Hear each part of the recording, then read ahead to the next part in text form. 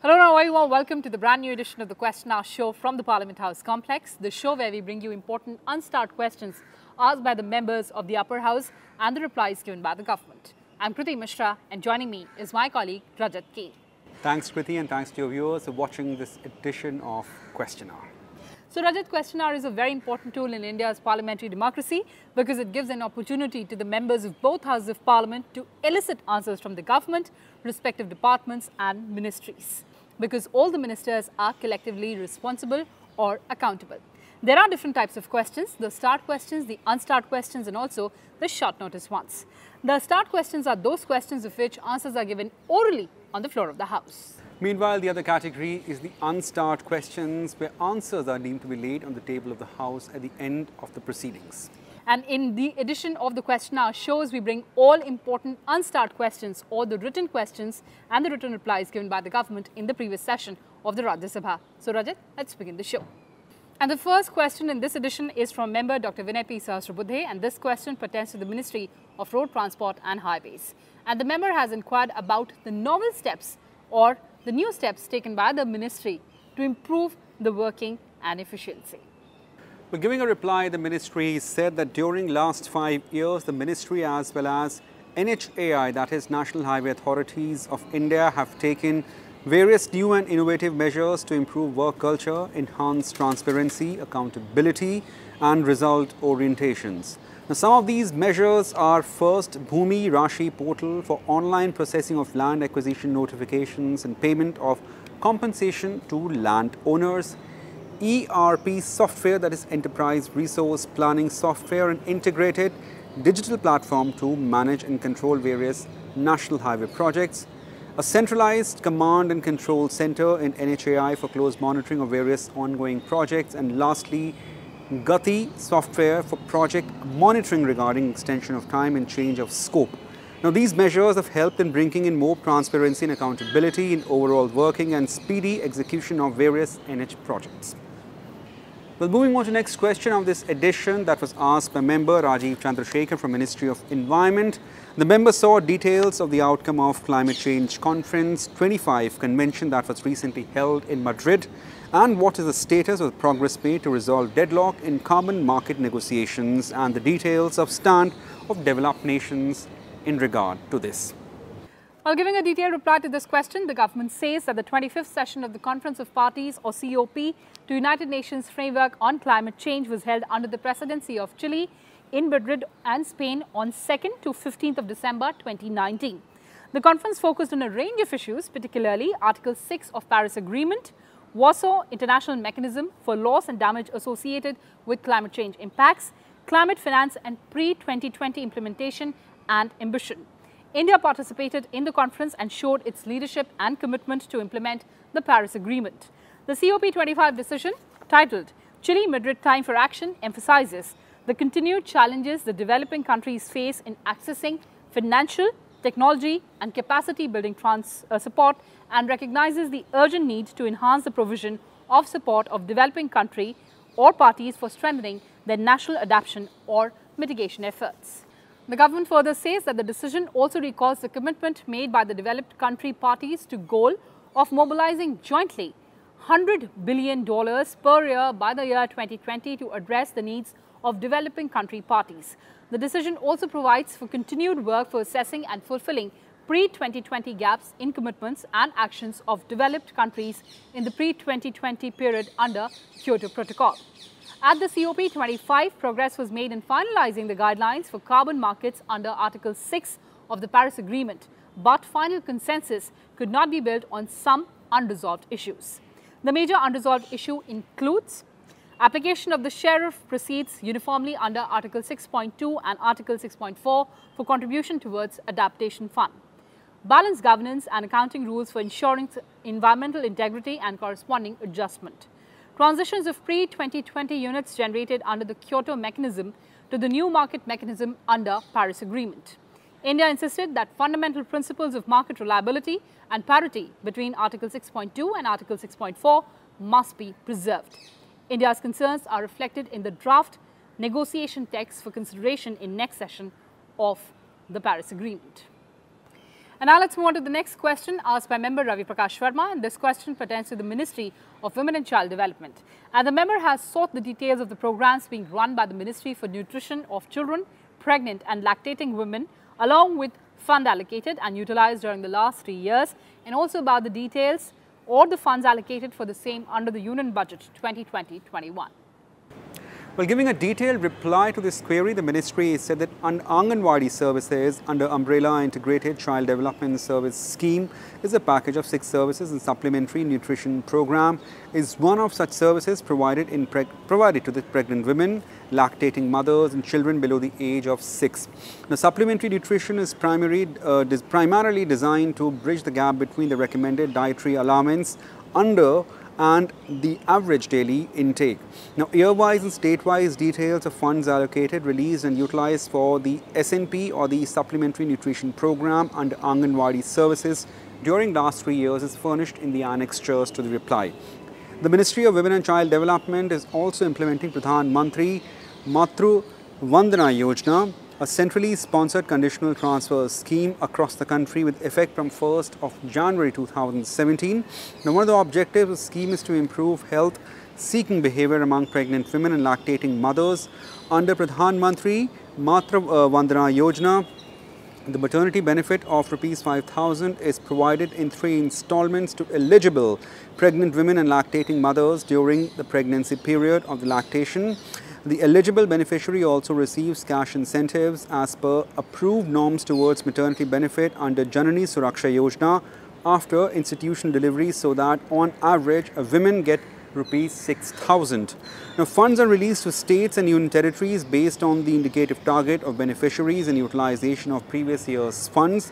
And the status of fund release and utilization during the last 3 years is being furnished in the annexures to reply now, Poshan Abhiyan, earlier known as National Nutrition Mission, addressed the problem of malnutrition in country since 18 December 2017. The goals of Poshan Abhiyan are to achieve improvement in nutritional status of children from 0 to 6 years, adolescent girls, pregnant women and lactating mothers in a time-bound manner during three years with fixed targets. Now, state-wise statement of funds released and utilized under Poshan Abhiyan till December 2019 is furnished in the annexures and giving a reply in affirmative to the specific query of the 15 Finance Commission recommending nutrition grant, the ministry said yes, the 15 Finance Commission has recommended additional grant of 7,735 crore for nutrition in 2020 to 21, which is in addition to the grants allocated by government under centrally sponsored scheme. And lastly, the ministry said a fund of 20,532.38 crore has been allocated to Anganwadi service including SNP, rupees 2500 crore allocated to PMMVY and 3700 crore allocated to Poshan Abhiyan under budget estimate of the year 2020 and 21. And joining us on the question hour show through virtual platform is Rajya Sabha MP Mr. Ravi Prakash Verma. Mr. Verma, welcome to Rajya Sabha Television and thank you so much for joining us. Sir, आप जैसा जानते हैं कि question our show उन सारे सवालों को सामने लाता है जो राज्यसभा के सदस्य पूछते हैं सरकार से और जिनका अनस्टार्ट रिप्लाई या अनस्टार्ट क्वेश्चन और जो रिटर्न रिप्लाई सरकार द्वारा दिया जाता है। अगर मैं पिछले सत्र की बात करूँ तो आपने बेहद ही महत्वपूर्ण सवाल पूछा था कि किस तरह से जो लैक्टेटिंग वुमेन प्रेग्नेंट वुमेन या फिर बच्चे हैं, उनके न्यूट्रिशन के ऊपर सवाल पूछा था। कितना महत्वपूर्ण मुद्दा और क्या मत है आपका सरकार के जवाब पर? हंगर इंडेक्स में हिंदुस्तान की रेटिंग बहुत ज़्यादा गिर गई, खराब हुई। तो इस चीज़ को लेकर के जो ये रिफ्लेक्शन है हंगर इंडेक्स का ये केवल आंकड़ा नहीं है ये पूरे समाज की स्थिति को बताता है। क्योंकि अपने यहाँ इस देश में आ, 130 करोड़ लोगों तक खाना पहुँचना तो वो पूरी प्रोसेस है। आ, जो अमीर लोग हैं उनके लिए तो कोई दिक्कत नहीं करनी पड़ती गवर्नमेंट को। वो तो अपना प्रोक्योरमेंट कर लेते हैं अपना प्रोविज़न रखते हैं। और न्यूट्रिशन अपना देखभाल भी करते हैं। और जबकि एक चीज़ और सामने आई है ग्लोबल हंगर इंडेक्स में हमारे हिंदुस्तान का स्तर बहुत गिरा है और ओबेसिटी में छोटे बच्चों की जो ओबेसिटी है, आप गौर करेंगे बड़ी मज़ेदार बात है ये, उसमें स्तर उठा है। इसके मायने डिस्ट्रीब्यूशन इवन नहीं है। जिन लोगों पर सरकार की ज़िम्मेदारी है उनको न्यूट्रिशन पहुँचाने की, उनको स्वस्थ रखने की, वहाँ कहीं ना कहीं दिक्कतें हो रही जो ग्लोबल न्यूट्रिशन इंडेक्स भी बोल रहा है कि भारतवर्ष में लगभग इक्यावन परसेंट महिलाएँ एनिमिक हैं। और यही कारण है कि महिलाओं के एनिमिक होने के कारण जो अंडर फाइव तक के जो बच्चों का मोर्टेलिटी रेटिंग है, वो बहुत हाई है। अप्रोक्सीमेटली बताया जा रहा था करीब सात लाख छह हज़ार बच्चे 2017 में मरे। तो अपने आप में ये पता लगता है कि एक इलेबोरेट स्ट्रक्चर के होते हुए और सारे प्रावधान के होते हुए गवर्नमेंट का कमिटमेंट होते हुए सरकार कह भी रही है कि वो फाइनेंशियल अलॉटमेंट बढ़ाने जा रही है अगले साल के लिए। तो जो आंकड़े दिखाई पड़ रहे हैं वो दिल दहलाने वाले हैं। मुझे लगता है कि हिंदुस्तान का बहुत बड़ा हिस्सा तो गाँव देहात में ही रहता है। और जिन महिलाओं की हम बात कर रहे हैं, वो ज़्यादातर गाँव देहात में रहती जैसा कि मैंने आपसे बताया कि शहरों में जो लोग खाते कमाते लोग हैं, उनके अंदर ओबेसिटी का रेट बढ़ा है। लेकिन रिमोट एरियाज़ में वो लोग जो एक प्रोडक्शन सिस्टम के हिस्से हैं मतलब जो लोग हिंदुस्तान की वेल्थ जनरेट करते हैं अपनी मेहनत से, मजदूर हैं और करने काम करने वाले हैं, महिलाएँ हैं, उनका न्यूट्रिशन का स्तर गिरा है। ये बड़ी चिंता वाली बात हमें लगती है। और हालाँकि गवर्नमेंट ने इस बात को कहा है कि वो प्रावधान बढ़ा रहे हैं। कई उन्होंने स्कीमें बनाई हैं। तो इसका मूल्यांकन तो हम लोग संसद में बैठ के करेंगे जब चालू चालू होगी। और हमें उम्मीद है कि जो सरकार, जो मंत्रालय है, इनकी जो फंक्शनिंग पर जो सीएजी की रिपोर्ट आती है, वो गवर्नमेंट तत्काल ही जैसे ही संसद बैठेगी पार्लियामेंट में रख देगी, जिससे कि हमको ये जानकारी मिल पाएगी कि जो सरकार ने पिछले वर्षों में प्रयास किए हैं, वो कहाँ तक पहुँचे लेकिन मुझे लगता है कि सरकारी मशीनरी, उसकी बड़ी लिमिटेशन है। और सरकार का काम सिर्फ़ पैसा खर्च करना ही नहीं है। वो एश्योर करना भी है कि वो सही जगह पर पहुँचे। तो इन हालात में भी अगर ये सामने चीज़ें आ रही हैं कि इक्यावन परसेंट औरतें एनिमिक हैं, जो गर्भ धारण करती हैं, बच्चों को जन्म देती हैं, और जो बच्चे हो रहे हैं, वो भी माल नरिष्ट है बुरी तरीके से तो लगभग आधा Bharat.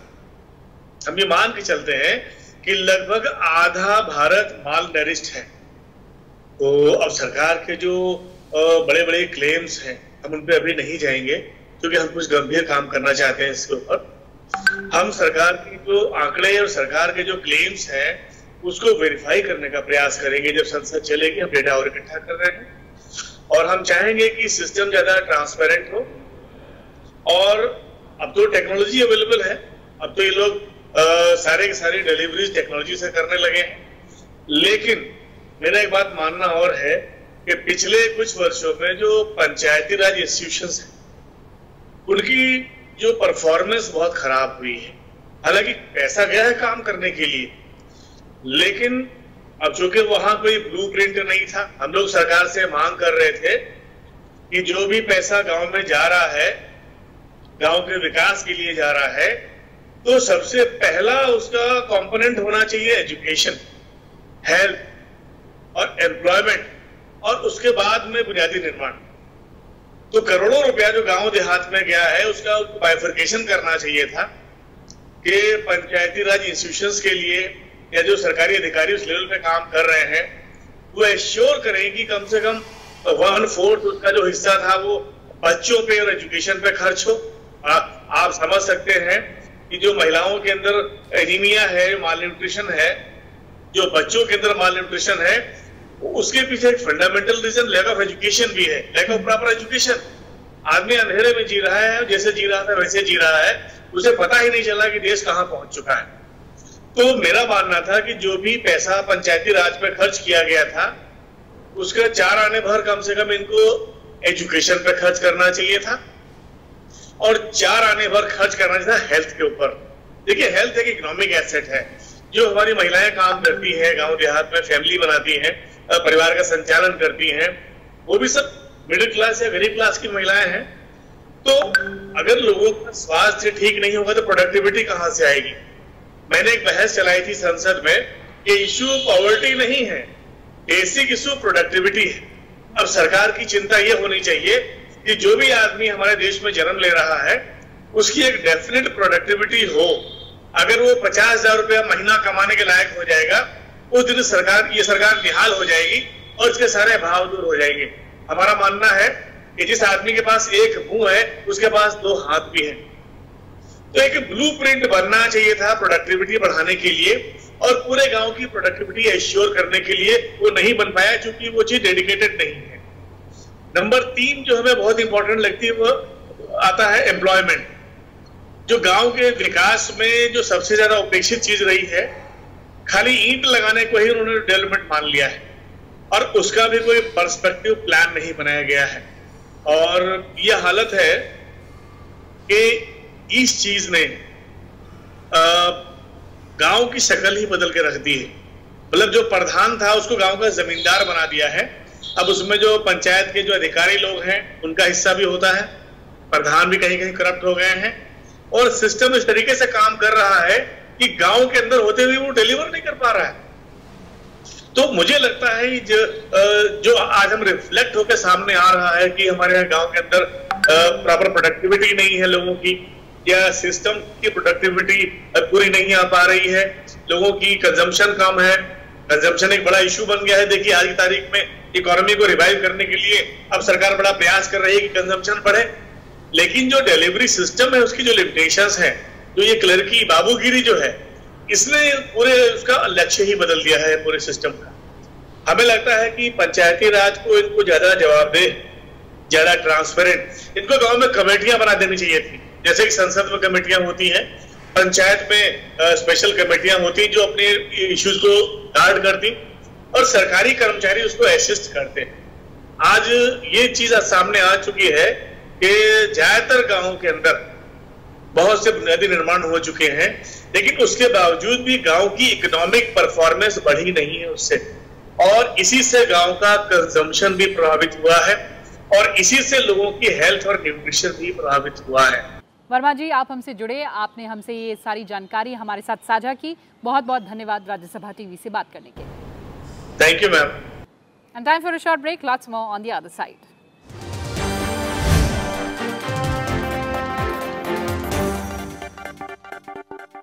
State's responsibility. Further, to supplement the efforts of state governments, the Government of India provides technical and financial assistance to encourage sustainable development and efficient management of water resources through various schemes and programs. Further, a number of states have done notable work in field of water conservation and harvesting. Of these, mention can be made of Mukhyamantri Jal Swavlamban Abhiyan in Rajasthan, Jal Yukt Shivar in Maharashtra, Sujalam Suflam Abhiyan in Gujarat, Mission Kakatiya in Telangana, Niru Chettu in Andhra Pradesh, Jal Jeevan Haryali in Bihar and Jal Hi Jeevan in Haryana among others initiatives. Well, moving on to last question of this edition of the show that was asked by member K. Bhabananda Singh from Ministry of Youth Affairs and Sports. The member asked about the present status of National Sports University in Manipur and whether land acquisition is complete also, whether any com company has been awarded contract for construction of National Sports University in Manipur. While giving a specific reply to this question, the government says that the National Sports University Act was promulgated on 17th of August 2018 during the monsoon session 2018 of Parliament. Pending construction of campus of the National Sports University in West Imphal district and the university is at present functioning from temporary campus located in Khuman Lampak Sports Complex in Imphal. The government also says that the state government of Manipur has allocated 325.98 acres of land in West Imphal district for construction of campus of National Sports University. And also the construction is estimated to take 48 months and the government also says that as far as the land for campus of NSU is concerned, same has already been allotted by the government of Manipur. Towards the construction of campus, a sum of 53.25 crore has so far been released by Project management consultants of NSU, out of which a sum of 18.44 crore has been utilized as per the utilization uh, certificate submitted by the PMC. Well, that's it in this edition of Question Hour. Thanks for watching Rajya Sabha TV. Stay tuned.